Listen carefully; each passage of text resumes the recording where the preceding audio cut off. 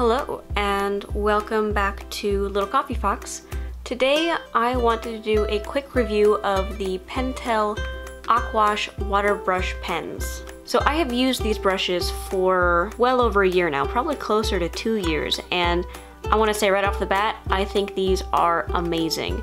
And I just kind of want to break down all the things that make it amazing in my book. I want to just kind of walk through its features and show you what these pens can do. So when you first get these, they are just three sizes of brush pens in a pack. So there's the small, the medium, and the large, which you can see that the caps are slightly different colors, uh, so you can tell them apart without having to uncap them and look at the brushes. On the back, it just comes with some directions on how to use them. And it's just a standard old blister pack, so let's go ahead and crack it open and see what's up.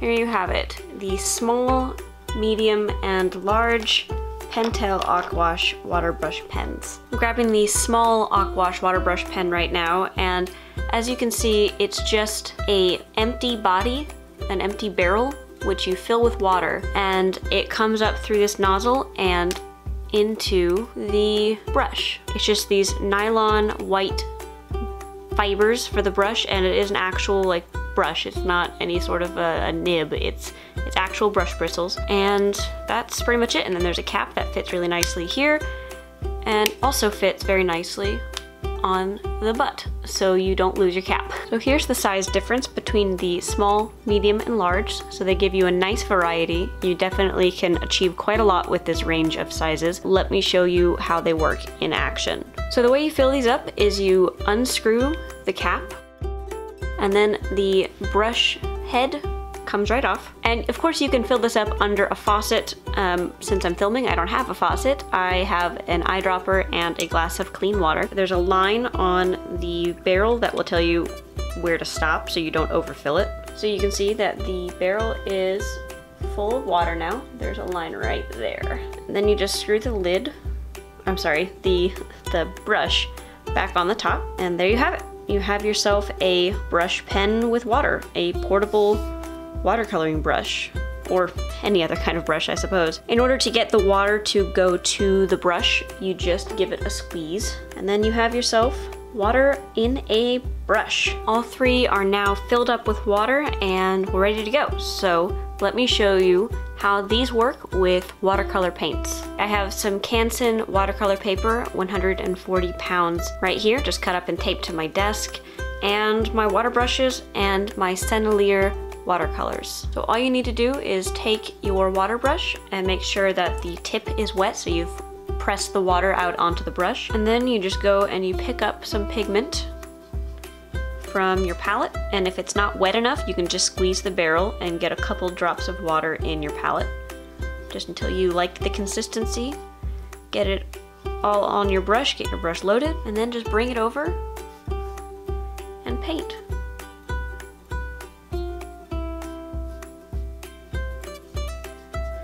Get it as bold as you like or as translucent as you like. It's totally up to you, just like with any other painting. You can clean it off on a paper towel.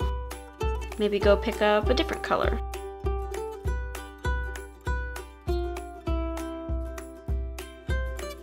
And there you go, it's just a paintbrush now.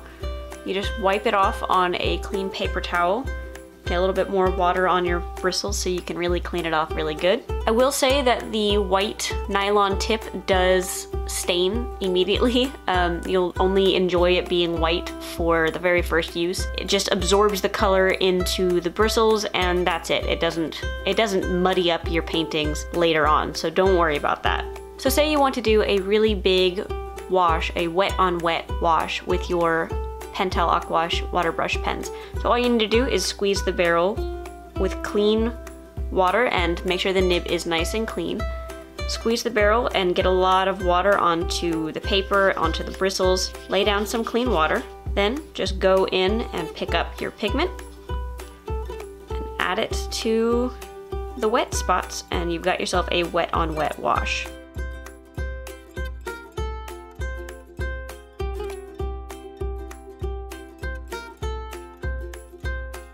So say maybe you want to do some brush lettering and you want to use watercolors. Well, let's give that a shot. I'm going to press the barrel, get some water in my palette, mix it around. See now it's loaded up on the brush.